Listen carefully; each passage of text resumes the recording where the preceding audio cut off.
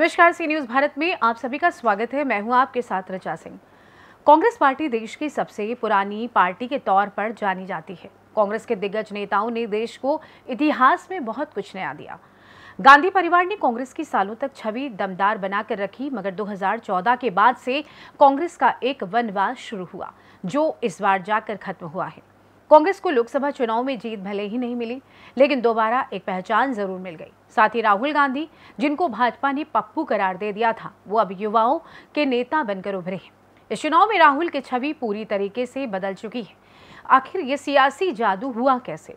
ये राहुल गांधी खुद ऐसा कमाल कर पाए या कोई था जो उनकी मदद कर रहा था? वो कौन सी शक्तियाँ थी जिन्होंने राहुल गांधी को बीते दो सालों में ज़ीरो से बना दिया हीरो? कहीं ऐसा तो नहीं, बीजेपी की ही कुछ बेवकूफियों ने राहुल गांधी को ज़ीरो से हीरो बना दिया हो। देखिए राहुल गांधी के कायाकल्प पर ये रिपोर्ट। राहुल गांधी इस वक्त इंटरनेट पर छाए रहते हैं। देश का के पीएम तीसरी बार नरेंद्र मोदी ही बने हैं, लेकिन महफिल तो राहुल लूट ले गए हैं।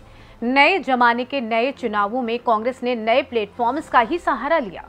सोशल मीडिया पर राहुल की हीरोगिरी ने सभी का दिल जीत लिया। बाकी बची खुची कसर खुद बीजेपी ने पूरी कर दी।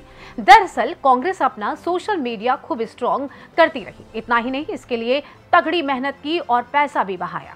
चुनाव कैंपेन के लिए वॉर रूम का गठन किया। साल की शुरुआत में भाषा और क्षेत्र के आधार पर चार टीमें बनाई गई थी। हर टीम में 900 से 1000 के करीब इंटर्न भर्ती किए गए थे। यानी कि तकरीबन 4000 लोग कांग्रेस और राहुल गांधी की छवि पर काम कर रहे थे और राहुल गांधी सोशल मीडिया पर अपनी मोहब्बत की दुकान खोल चुके थे। कांग्रेस की एड और कैंपेन की सोच डिफरेंट रही, जबकि बीजेपी का मीडिया सेल अभी भी पुराने अंदाज में कांग्रेस पर हमले कर रहा था। बीजेपी के एड कैंपेन धार्मिक आधार पर लोगों को बांट रहे थे तो कांग्रेस के एड कैंपेन मोहब्बत की दुकान से प्रेरित थे। राहुल हर क्षेत्र के लोगों के बीच गए बात की और उनकी टीम ने राहुल को सोशल मीडिया पर जननायक करार दे दिया। कांग्रेस की टीम ने राहुल गांधी की जो मदद की, वो सभी को देखी। लेकिन बीजेपी ने भी राहुल गांधी की मदद और खुद के पैर पर कुल्हाड़ी मारने का भी कोई कोर कसर नहीं छोड़ी। बीजेपी का आईटी सेल कांग्रेस के इशारों पर नाचता रहा। जी हाँ कांग्रेस कभी भी बीजेपी के सेट किए गए गोल पर नहीं खेल रही थी, बल्कि इसके उलट बीजेपी खुद कांग्रेस मीडिया सेल के इशारे पर नाच रही थी। कई बार ऐसा हुआ कि कांग्रेस के लोगों ने कुछ आधा अधूरे इंफॉर्मेशन के साथ कोई आरोप बीजेपी पर लगा दिया। उसके बाद बीजेपी के मंत्री उसका जवाब देते फिर रहे थे। कई बार ऐसा भी हुआ कि बीजेपी के एड कैंपेन कांग्रेस के एड और हमले का जवाब उसी तर्ज में दे रहे थे। मतलब साफ़ था कि बीजेपी की आईटी सेल कांग्रेस की आईटी सेल के हाथों खेल रही थी। इन सब का नतीजा रहा कि 2021 तक YouTube पर राहुल गांधी पाँच लाख सब्सक्राइबर जो कि थे उनके, वो सात दशमलव दो मिलियन तक पहुँच गए। इसी तरह इंस्टाग्राम फॉलोअर्स का आंकड़ा एक दशमलव सात मिलियन से नौ दशमलव चार मिलियन तक पहुँच गया। कुल मिलाकर देखें तो राहुल गांधी को पप्पू का तमगा देने वाली बीजेपी ने ही उनको पप्पू वाली छवि से बाहर निकालकर हीरो बना दिया।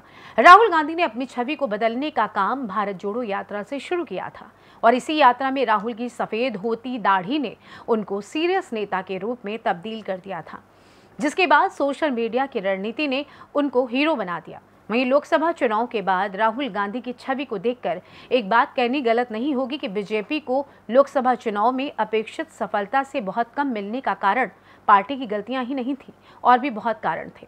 जिसमें सबसे प्रमुख था कांग्रेस के मीडिया सेल का काम, जिसने बीजेपी की दशा और दिशा बिगाड़ दी। फ़िलहाल के लिए इस खास रिपोर्ट में बस इतना ही। देश दुनिया की तमाम खबरों की जानकारी के लिए आप बने रहिए सी न्यूज़ भारत के साथ। हर खबर आपके साथ, आपके हाथ।